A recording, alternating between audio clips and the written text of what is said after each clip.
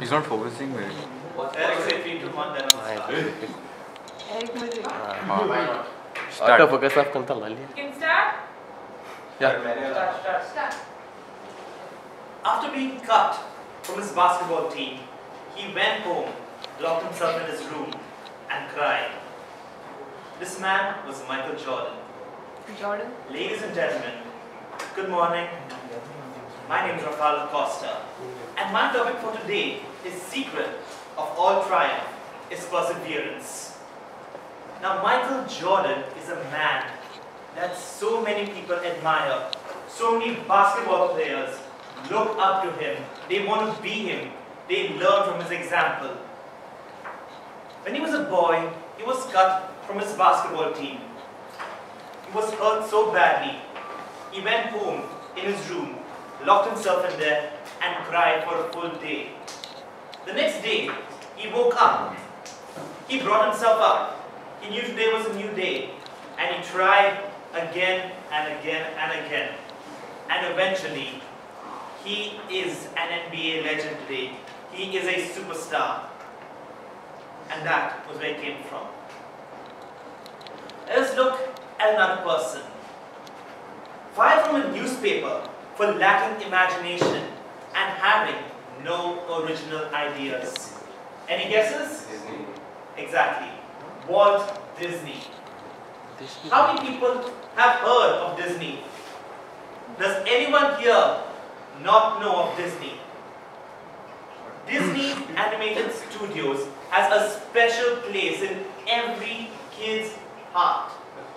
Anyone who is remotely connected with the world at large has heard of them and they love them. This studio has won the first Academy Award for an animated film, something that is rare even today in the year 2017. It was started by this man, by this legend named Walt Disney. A man who was accused of having no imagination, of having no original ideas. If that's not enough for you, then let's take another example. There was once a band. They were a good band. They tried their best. And they performed and they did well. And they did it over and over and over again. But they were rejected by Decca Studios, who simply said, We do not like their music. We don't like it. They have absolutely no place in this industry. We should quit and go home. Any guesses on the band? Beatles, the most successful band and the most acclaimed and accredited band even today. They are legends among legends. They tried over and over and over again. When people said, you can't do this, you can't work. When the premier recording studio of that time said that we do not like their sound, they did not give up. They stood by it. They worked over and over and over again. And they became the legends. They became internationally known. They became myths.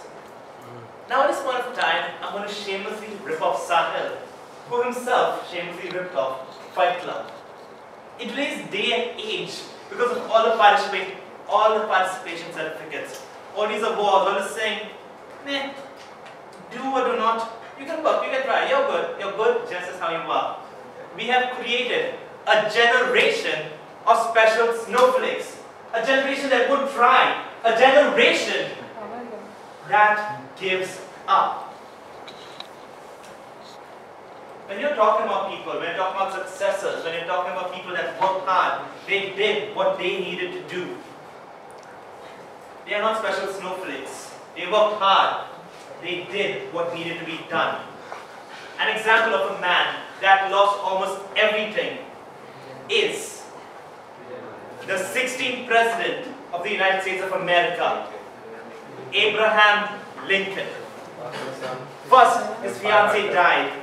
He lost his son. He failed in his businesses. He had a nervous breakdown and was beaten in eight separate elections.